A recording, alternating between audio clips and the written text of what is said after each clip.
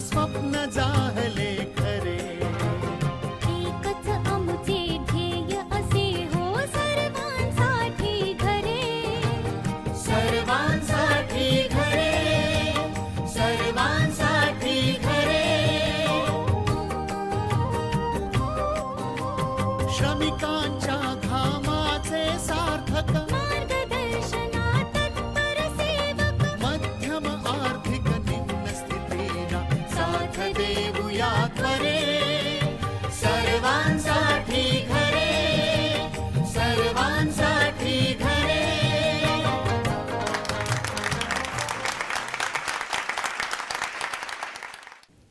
नमस्कार. सर्वांसाठी घरे सुरेश हावरे या आपल्या कार्यक्रमात आपलं पुन्हा एकदा मनापासून स्वागत आहे.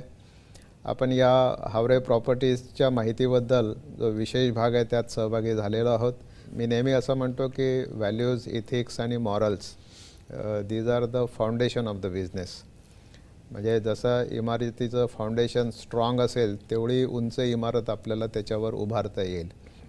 तसंच बिझनेसमध्ये व्यवहारामध्ये वागण्यामध्ये पर्सनॅलिटीमध्ये जेवढ्या इथिक्स मॉरल्स व्हॅल्यूज तुमच्या स्ट्रॉंग असतील तर you can build a tall personality काय सांगाल अमित सर मला वाटतं एक एक प्राईम व्हॅल्यू याच्यामध्ये अशी आहे ज्याच्यावरती ट्रस्ट हा कस्टमरचा पूर्णपणे डिपेंड होतो आणि त्या व्हॅल्यूमुळे आजपर्यंत जी क्रेडिबिलिटी एस्टॅब्लिश झालेली आहे आणि कस्टमर्स डोळे बंद करून जे विश्वास करतात ते ह्याच्यामुळे करतात. तर त्यामध्ये पहिली गोष्ट अशी आहे की कुठलाही हिडन कॉस्ट आपल्या घराच्या किमतीमध्ये किंमत सांगताना दाखवताना घेताना घर देईपर्यंत असा कुठलाही हिडन कॉस्ट नाही आहे सगळे घराच्या ज्या किमती आहेत त्या प्रिंटेड कोटेशनच्या स्वरूपामध्ये आपण कस्टमरसमोर ठेवतो. ते मी आकडा लिहिला तो तीन होता की पाच होता असा दिसला असा कुठल्याही राहता कामा नये.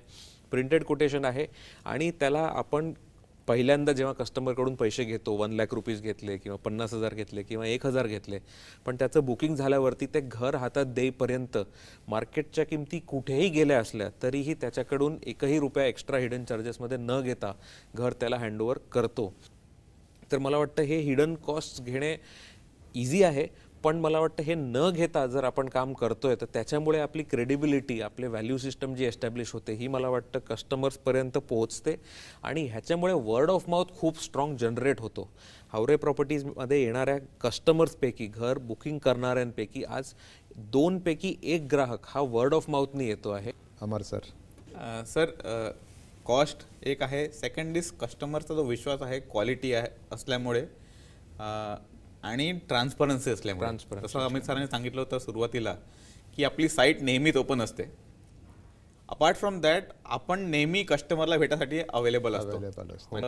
जी ट्रान्सपरन्सी कस्टमरला आहे जी ॲक्सेसिबिलिटी आहे की त्याला जशी अडचण काही आली तर तो आपल्याला येऊन सांगतो. त्याला होम लोनमध्ये कधी कधी कस्टमर्सला काही डॉक्युमेंट मिसिंग असतात त्याचं लोन होत नसतं. आणि अनेक बिल्डर त्यांना फोन करतात की अरे तुम्हाला आता तुमचं पेमेंट ड्यू झालेलं आहे अठरा पर्सेंट तुम्हाला व्याज लागणार आहे. आपण असं न करता कस्टमरला साम समजून घेतो आणि कस्टमरला एका फॅमिली मेंबरसारखं ट्रीट करतो की त्यांची आपल्याला खरोखर मदत करून द्यायची त्यांचं घर पूर्ण करण्यासाठी. तर ही एक खूप मोठी व्हॅल्यू आहे आणि याच्यामुळे कस्टमरला खूप सर एक ट्रान्सपरन्सी असल्यामुळे एक त्याला कॉन्फिडन्स येतो की बा माझा मला कोणीतरी माझा हात धरून घर घर पूर्ण होईपर्यंत माझ्यासोबत कोणीतरी आहे. आणि ही हँड होल्डिंग जी ते कस्टमर लागते ती आपण त्याला देतो. आणि त्याला जे कोणचे ॲडव्हान्टेजेस त्याला मिळत असतील प्रत्येक बरेच जागेवर साईटवर असं असते की याच बँकांकडनं लोन घ्यावं. जेव्हा कस्टमरला दुसऱ्या बँकेकडनं स्वस्त लोन भेटू शकतं. तर तसं आपण कुठेही घेत नाही. एन ओ सी चार्जेस अनेक जागेवर लोनचे एन ओ सी घेण्यासाठी काही चार्जेस घेतले जातात. हिडन कॉस्ट जसे सरांनी म्हटलं. हे असे कुठलेही एन ओ सी चार्जेस वगैरे न घेता कस्टमरला जेवढी आपण किंमत सांगितलेली आहे कस्टमरला त्याच किमतीत आपण घर देतो जेणेकरून कस्टमर इज सॅटिस्फाईड गव्हर्नमेंटला हा कायदा आणावा लागला. रेराचा जो कायदा आलेला आहे की ट्रान्सपरन्सी सगळ्यांनी ठेवावी. तर ही ट्रान्सपरन्सी आपण आधीपासून ठेवतोय. आणि एक गोष्ट मी आनंदाने सांगू इच्छितो की Haware properties was RERA compliant even before RERA. बरोबर. कारण रेरा हेच सांगतं की तुमच्या प्रोजेक्टचे जेवढे डॉक्युमेंट्स आहेत ते ट्रान्सपरंटली तुमच्या वेबसाईटवर सगळ्या कस्टमर्सला दिसले पाहिजेत. आजपर्यंत आपल्या प्रोजेक्टचे सगळे डॉक्युमेंट्स कस्टमर्स पुढे ट्रान्सपरंटली आपण मांडलेले आहेत. रेरा हे म्हणतो की तुम्ही जी ज्या वेळेत घराचा ताबा कमिट करताय त्याच वेळेत तो कमिट कर कंप्लीट करावा. आपले आजपर्यंत सगळे प्रोजेक्ट्स ऑन टाईम कंप्लीट झालेले आहे. आणि ह्याच्या मागे पूर्ण मोठी टीम आपली जी लागलेली आहे. म्हणजे प्रोजेक्ट लॉन्च करत्यावेळी त्या प्रोजेक्टचा फायनान्शियल क्लोजर त्या प्रोजेक्टमध्ये होणारे बुकिंग्स त्या प्रोजेक्टला लागणारी प्रत्येक कॉस्ट आपण कॅल्क्युलेट करून लॉन्च करून लॉन्च करतो. आणि त्याचं डेडलाईन जी आहे त्याची जी फिनिशिंगची टाईम आहे ही कमिट करतो. हा पूर्ण चार्ट मांडून जेव्हा आपण कस्टमर पुढे जातो कस्टमरलाही विश्वास येतो की त्यामुळे तो बुकिंग करतो. ह्याशिवाय रेरामध्ये अजून एक कायदा त्यांनी आणला की बिल्डर कोण आहे ह्याचा फोटो तुम्ही वेबसाईटवर दाखवला पाहिजे. अनफॉर्च्युनेट गोष्ट आहे आपल्या इंडस्ट्रीची अशी आहे की बिल्डर कोण आहे? कारण कंपनीच्या नावामागे माणूस कोण आहे चेहरा कोण आहे हे बरेचदा कस्टमरला कळत नसतं. बरोबर. हावरे प्रॉपर्टीजमध्ये पहिल्यापासून जी ॲड्स येतात आपली अ, सुरेश सर तुमची जेव्हा ॲड यायची तेव्हा तुमच्या सिग्नेचर करून ती न्यूजपेपरमध्ये ॲड यायची. आजही जी ॲड येते त्याच्यामध्ये आपली सिग्नेचर असते. तर दिस इज अ कमिटमेंट की डेव्हलपर कोण आहे? आणि बरेचसे कस्टमर्स अप्रोच होतात ते आपल्याला जेव्हा रीच करतात तर त्यामुळे एक अजून एक ह्याचा ॲज अ कोरोलरी याचा इम्पॅक्ट काय आहे? तर हावरे प्रॉपर्टीजची आज रेरामध्ये एकही केस नाही. त्याचं घर तयार झाल्यानंतर एक अ, घराचा ताबा घेण्याचं एक स्वप्न असतं. आणि त्याने ते उराशी बाळगलेलं असतं. की मी इथे घर बुक केलेलं आहे तो वेळोवेळी तिथे मध्ये मध्ये जाऊन येतो. आणि जेव्हा पूर्णत्वाला येतं अ, तेव्हा आपण समारंभपूर्वक त्याला घराचा ताबा देतो. सगळ्या कुटुंबाला बोलवतो. प्रत्येक माणूस जर घर घेणार असतो तो आयुष्याची अर्धी किंवा पूर्ण कमाई त्या घरात टाकत असतो. त्यासाठी त्याच्यासाठी ती घराची म्हणजे एवढी व्हॅल्यू जास्त असते तो सगळ्या पूर्ण त्याच्या नातेवाईकांना ऑफिसमधल्या कलिग्सला मित्रांना मैत्रिणींना सगळ्यांना सांगतो आणि सगळ्यांना सांगतो की माझं हे घर हे झालेलं आहे. माझ्याकडे सेरिमनी आहे आणि आपण जेव्हा ती सेरिमनी करतो. म्हणजे ही ती एक युनिक प्रॅक्टिस आहे इंडस्ट्रीमध्ये भूमिपूजन जसं सरांनी सांगितलं सगळेच करतात. पण सेरिमोनियसली कस्टमरला एका सोबत घरांचा ताबा देणे त्याच्यात एक इव्हेंट ठेवणे आणि लोकांना बोलवणे लोकांना दाखवणे की सगळ्या अम्युनिटीज तयार झालेल्या आहेत. आणि त्यानंतर एक प्रोजेक्ट हँडओव्हर करणे. हा खूप एक कस्टमरला आनंदी एक्सपिरियन्स आहे आणि असा युनिक एक्सपिरियन्स आहे. बरोबर बरोबर. आज लोकांना जे पाहिजे आहे त्यांच्या बजेटमधलं घर पाहिजे आहे. म्हणजे तुम्ही लक्झरियस हाऊस बांधाल पण ते त्याच्या बजेटमध्ये बसत नाही. म्हणून नॅनो हाऊसिंगचं एक इनोव्हेशन आपण काढलेलं आहे की nano housing is what it is a luxurious house with affordable price तिथे क्वालिटीमध्ये कॉम्प्रोमाइज नाही आहे आणि कुठेही तडजोड नाही आहे लक्झरी ॲम्युनिटीज आहेत. पण तरी सर्वसामान्य माणसाच्या बजेटमध्ये बसणारं ते घर आहे. असे अनेक प्रोजेक्ट आपण केलेले आहेत. काय सांगाल असं? नॅनो हाऊसिंग मला वाटतं हे एक कंप्लीट सायन्स आहे. आणि मला वाटतं की एक सायंटिस्टच ह्याची संकल्पना करू शकतो. फर्स्ट आहे की optimum planning of the house second speciality आहे की हा हे प्रोजेक्ट्स जे आहेत हे मासमध्ये आहेत. कुठलाही प्रोजेक्ट असा पन्नास शंभर घरांचं नाही आहे five hundred thousand two thousand three thousand homes and more असे हे घरं आहेत.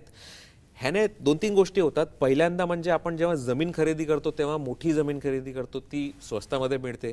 बरेचदा आणि this is a very peculiar speciality of nano housing की सिटीच्या बाहेर जी आपण जमीन घेतो ती स्वस्त भेटते कारण सध्या तिथे सगळ्याच गोष्टी आलेल्या नसतात.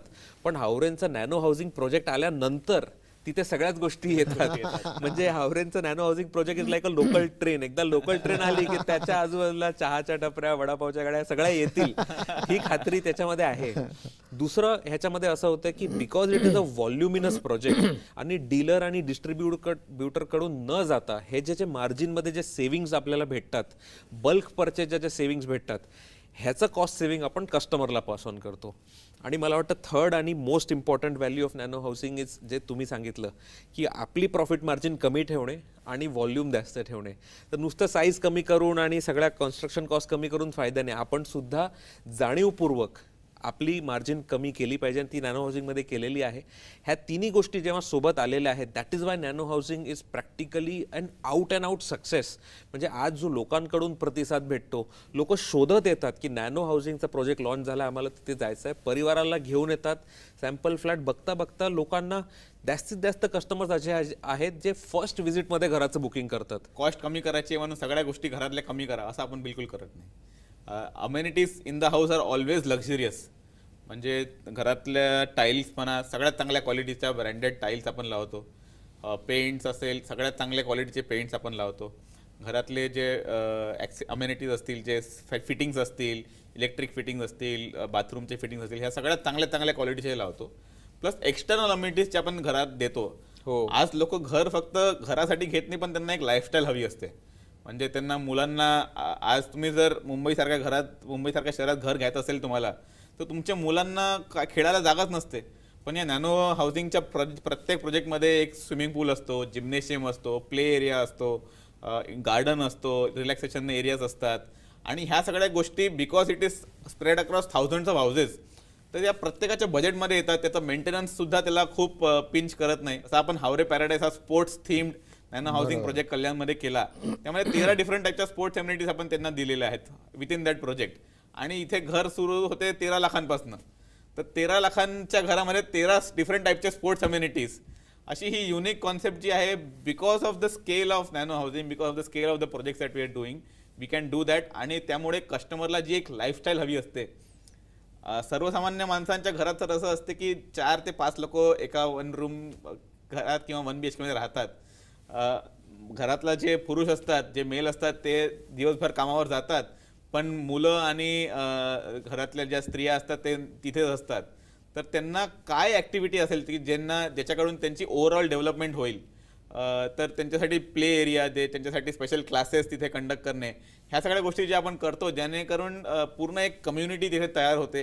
प्रत्येकजण खाली येऊन मुलांना एक सेफ एन्व्हायरमेंट मिळतं for exploring their physical activities आणि for doing all kinds of explorations तर हे नॅनो हाऊसिंगचं एक अ, वैशिष्ट्य आहे ज्याच्याकडून ज्याच्या याच्यामुळे एक जी लाईफस्टाईल कस्टमरला मिळते आणि एका कमी त्याच्या कमी अ, किमतीमध्ये. त्यामुळे तो कस्टमर सुखावतो आणि त्यामुळे कस्टमरचा विश्वास अजून वाढत बरोबर. तर मित्र आज लोकांना नुसतं घर नको आहे तर एक लाईफस्टाईल पाहिजे आहे. आणि ती लाईफस्टाईल नॅनो हाऊसिंगच्या या प्रोजेक्ट्समध्ये त्यांना मिळते आहे. आणि म्हणून लोकांचा कल ते घर घेण्यामध्ये आहे. सर्वांसाठी घरे सुरेश हावरे या कार्यक्रमात आता वेळ झालेली आहे एक छोट्याशा विश्रांतीची.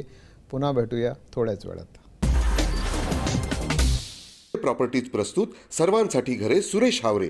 पावर्ड बाय प्रायोजक Pitambari Indradhanu village banking partner Thane Bharat Sahakari bank सहप्रायोजक पनवलकर group माध्यम प्रायोजक तरुण भारत. नमस्कार. सर्वांसाठी घरे सुरेश हावरे या आपल्या कार्यक्रमात आपलं पुन्हा एकदा मनापासून स्वागत आहे.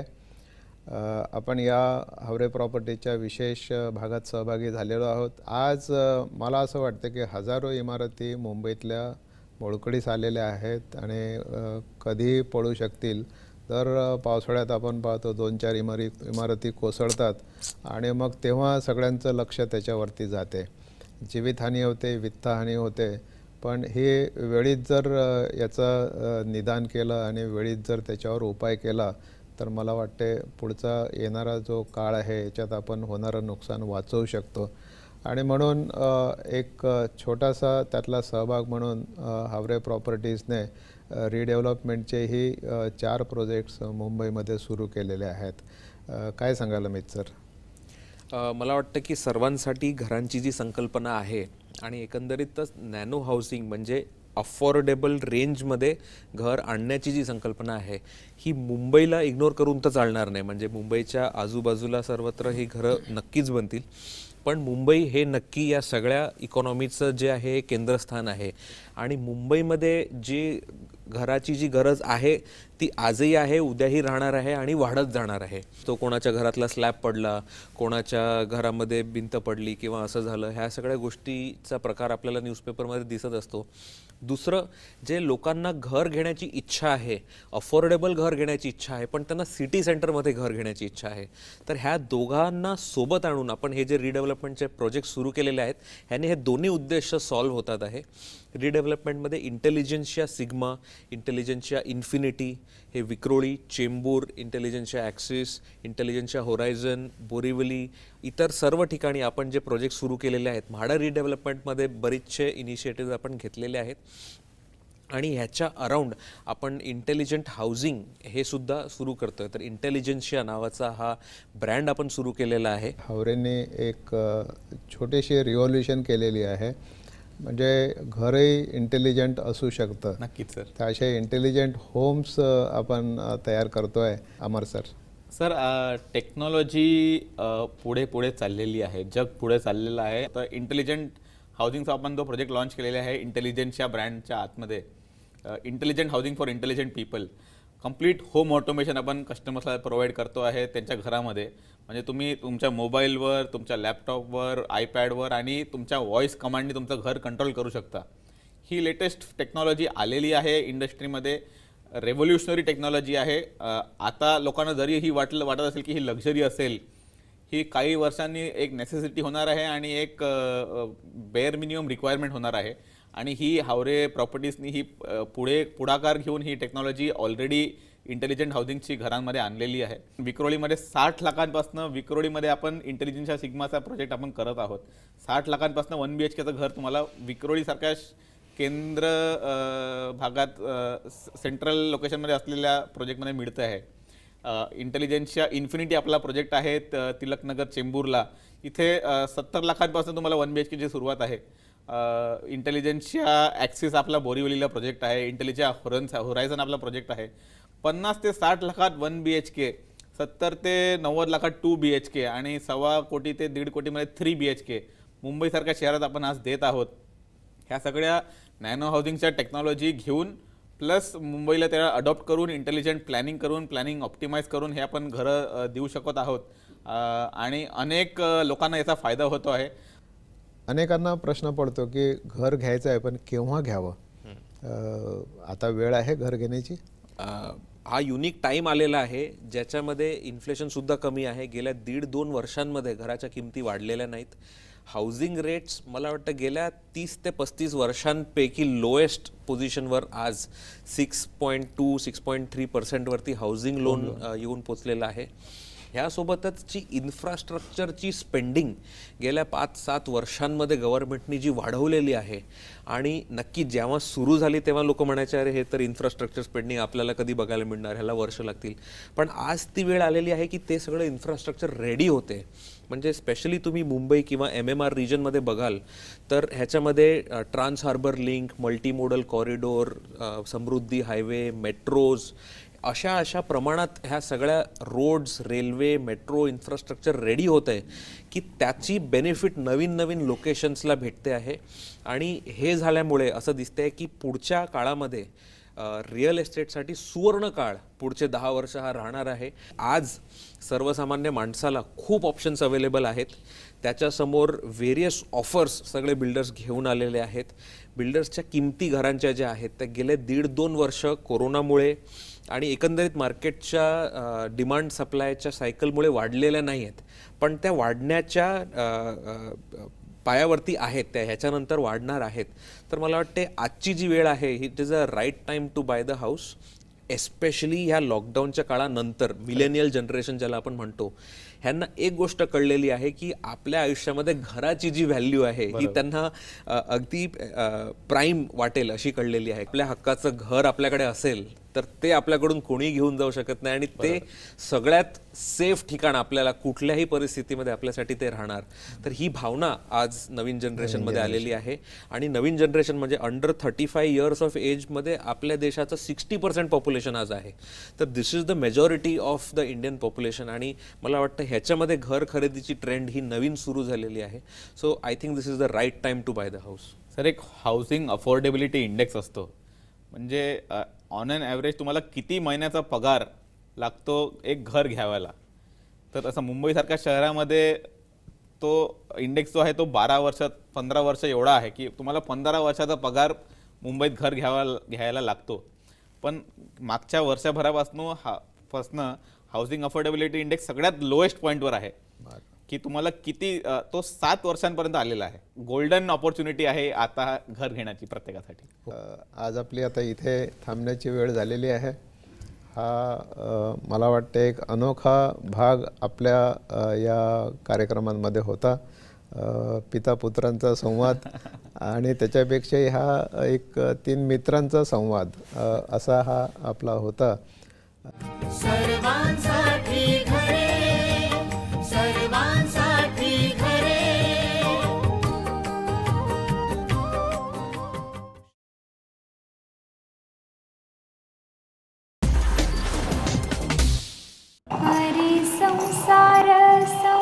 बहिणाबाईंची जात्यावरची ओवी म्हणजे